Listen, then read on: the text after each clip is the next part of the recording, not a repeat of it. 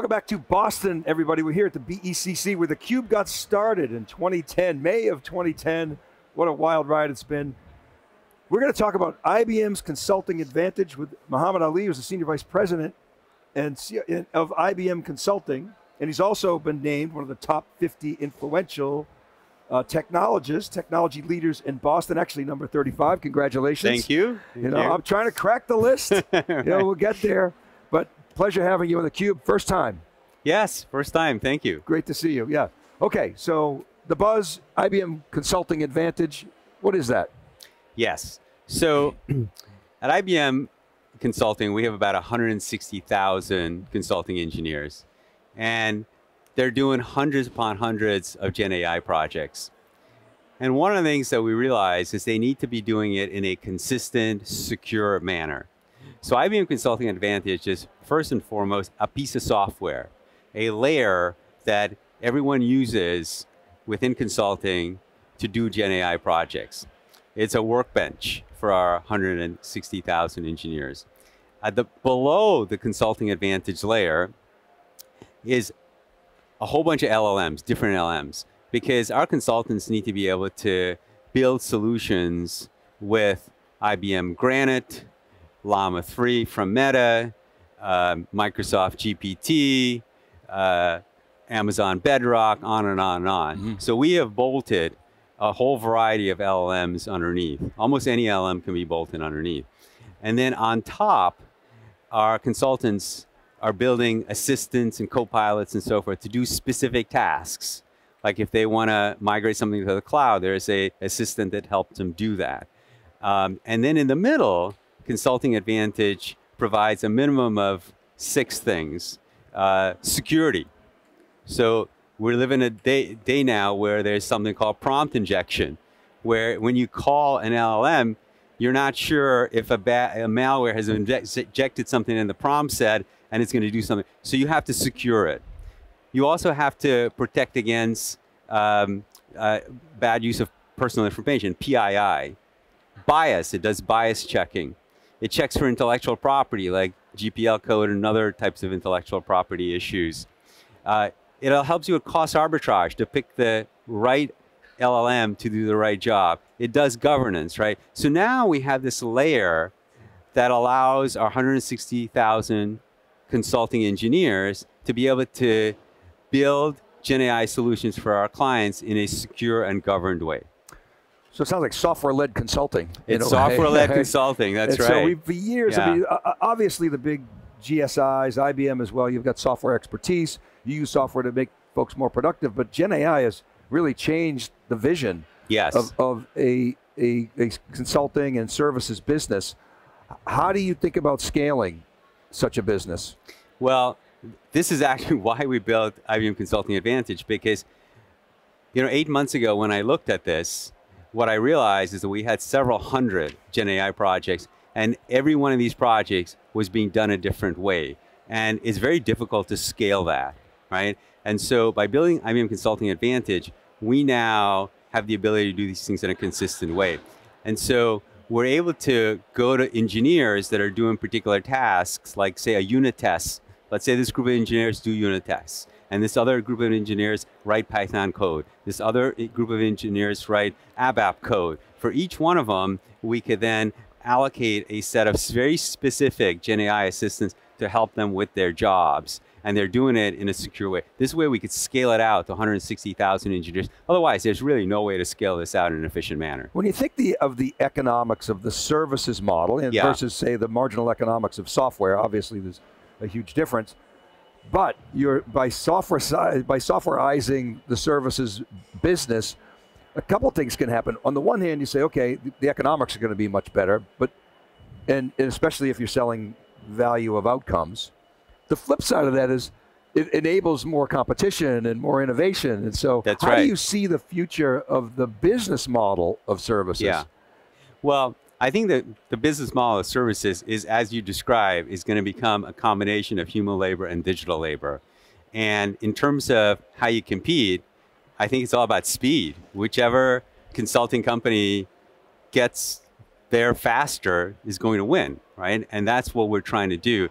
And we are, we are lucky at IBM in that we have a whole technology company at our side. So when we decide to go build IBM Consulting Advantage, we could do it quickly. We could do it with a lot of software engineers. We could do a lot of technology. And we have our colleagues ready and willing to help us do that. So that's why in eight months, we've been able to not only launch Consulting Advantage, but it's now being used by 15,000 of our 160,000 engineers. So we've mm. been talking about uh, domain-specific models. Obviously, IBM Consulting has a, a, big advantage. IBM's got a very unique advantage, and it's got both the consulting capabilities, deep, deep industry expertise that's competitive with any GSI out there, but you've got this technology portfolio. That's, that's right. You know, product. That's right.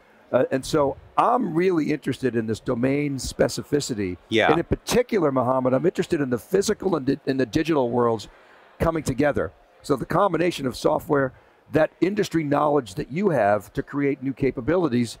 We, we don't talk so much about digital transformation anymore because it's all AI, but but essentially digital representations of your business. Some people say digital twins, where people, places, and things are occurring in real time. Yeah. And that's different than the sort of batch world that we live in. You think about supply chain. Oh, there's a problem. I'll send a, some mm-hmm, kind of message. Mm-hmm. We'll mm-hmm. fix that tomorrow. We'll split the order. Real time is really what we see as industry transformation potential and massive yeah. economic value being unlocked. How do you think about that? Yeah, so I'm going to give you two examples that we're working Great. on, right? Uh, one is less industry and the other one's more industry. And so uh, there's this particular client. They happen to be a healthcare services entity, and they wanted us to build an app for their client, for their customers to be able to sign up for appointments and that sort of thing. It's a very, very large entity.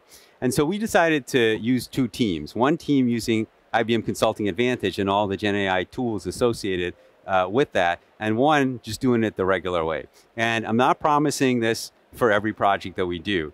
But the team that was using IBM Consulting Advantage and the Gen AI assistants and the additional tools there were able to do it 52% in less time and labor than the other team, right? So just think about that in terms of cost savings when you do these projects, any of these projects, right? And that's across industry. We could apply that to healthcare or uh, other industry. It's that's a generic sort of software development lifecycle kind of project. Now, when it comes to industry specific, you know, uh, last week was it? We made that big announcement with Palo Alto mm-hmm. Networks. And one of the things that you'll read in that press release is a joint collaboration to jointly develop industry specific threat models. So there are trillions of signals that Palo and IBM now have access to. And what we can what we're going to do is we're going to look at those signals and we're going to build we're going to use things like InstructLab, which is you've heard a lot about yep. here, to build industry-specific models that says that in oil and gas, this is what the threat vectors look like uh, in oil and gas. In, in financial services, the threat vectors are a little bit different. And so then you take those industry-specific threat models, you layer it on top of a generic uh, threat model uh, detection uh, uh, uh, capability, and then you have something that's even better, right? So that's the kind of stuff that we're using IBM Consulting Advantage for, and InstructLab to build models that are very specific. So what's different about that? Because it, it, yeah, make, make, sure I get this. I know right there's a lot there. You know, but, but, yeah. but, what struck me yeah. is you you have this industry specific threat models. You got a signature. Yeah. Um, what does either this collaboration or even AI, maybe this is both, how does that change what was possible previously? Was it just it expands the the accuracy um, and the the the specificity, uh, or is there other you know, automation or speed? Because it's all about speed against the hackers that that brings. Yeah, I think a couple of things. It does improve the accuracy. Um, you will be able to identify threats quicker that you couldn't before, mm. right? And in some ways, accuracy and speed are really essential to cybersecurity, right? Uh, because you know, if it's like if you're five minutes late and the bad guy gets in, it's too late, right? Or if it's and a so, false positive, it makes your, you know, right. your head explode. Or, or if it's a false positive, Yeah. then you have a whole ton of people triaging false positives, and you just can't afford that. I mean, there's a study that says there are 3.4 million cybersecurity experts missing. So there's clearly not enough people to triage all these signals. So, um, so I, I would say, I would say yes to your, your question. Yeah. Yeah. And, and it was, I think, in December that you announced this collaboration with, with Palo. uh, Yeah, right? so that was the first. year. That was the first collaboration, um, and then last week we announced this even deeper collaboration. Right, Yeah. right. And so we are going to have you and Palo on the Cube and talk about that collaboration. We'll make it it. happen. You know, Yeah. once this conference season dies down, we'd love to do that. What about IBM Garage? How does that fit into all this? Ah, so IBM Garage is sort of the front end to this, Mm-hmm. right? So you take that healthcare application that we built. Um, there was a garage session before that to determine what it is that we should build, not what we can build, right? So wh- why is building this application in this particular way with these features a good return on investment? It's almost like doing like good product management ahead of actually building a product. And so the garage methodology is focused on how do we co-create with you and then how do we co-produce with you, but ensure that it is generating good ROI what we're doing with Consulting Advantage then takes, takes the output from the Garage methodology and say, okay, here are the requirements, and now we need to create these user story, these personas for this application, these user stories, these blocks of code, this set of unit tests, this set of integration tests, and so forth. Right? Advantage is really the delivery mechanism that sits on top of uh, IBM Garage. So people talk, you know, we talk about systems of record and, you know, social media sort of extended that to, to, to new ways of collaboration. People talk about systems of agency, you know, Mhm. bringing historical analytic systems of record, which has sort of been the stovepipe, and bringing transactions to that so that the AI can actually take Yeah. action. When you talk to clients, where do you think we're at in that vision coming true? Yeah, so uh, InstructLab is an extraordinarily important tool now or invention that allows us to do that. Um, so you, today, the LLMs that we use are sort of general purpose LLMs, right? They're trained on large quantities of internet data, or in, in case of Granite, in more curated data, um, but they're not necessarily specific to the data you have in your company, okay?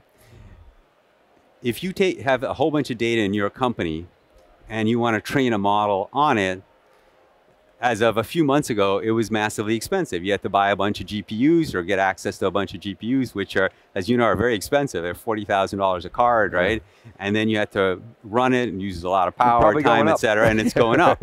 And so with InstructLab, there have been there are two inventions here. One is that you could take your company data and you could train a small model using a MacBook, right? Invention number one. So you don't need all this expensive hardware, but you're training a small model. And then invention number two is you could stitch that small model onto a large model like a Granite, that's a general purpose model. And when you stitch them together, you could treat them as one model.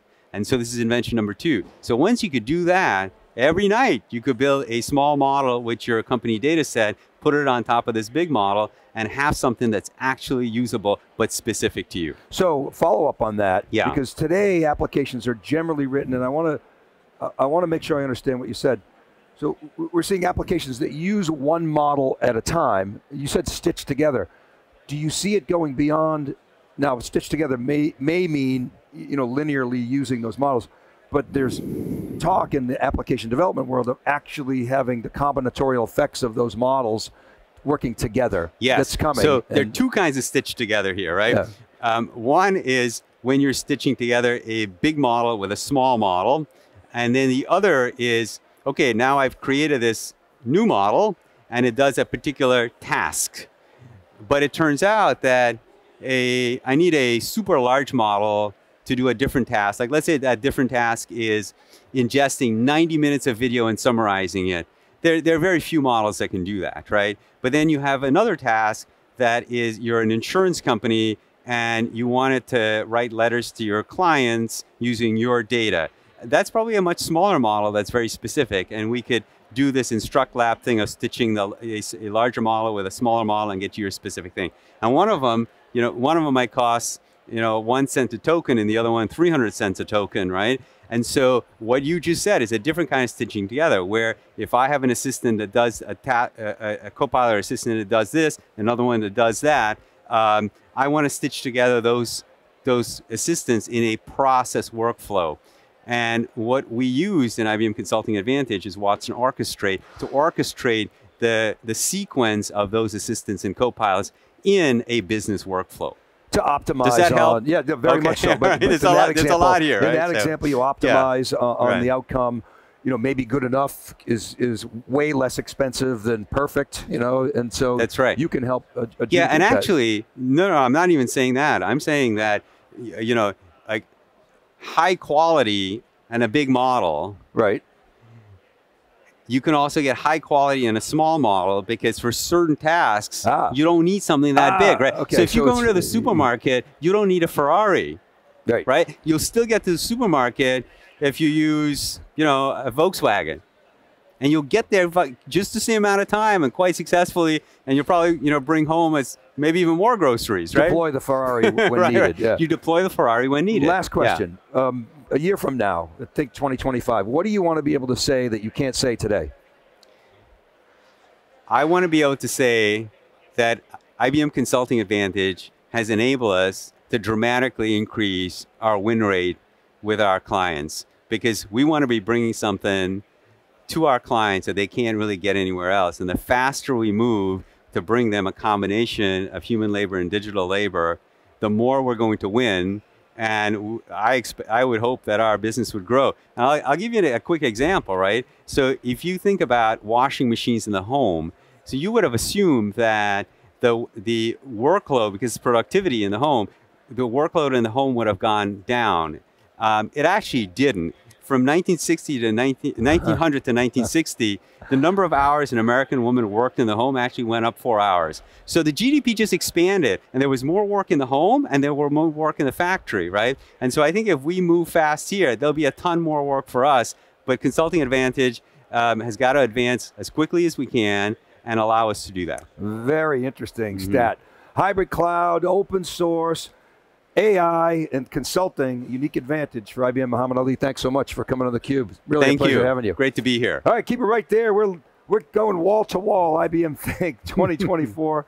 My name is Dave Vellante. You're watching theCUBE.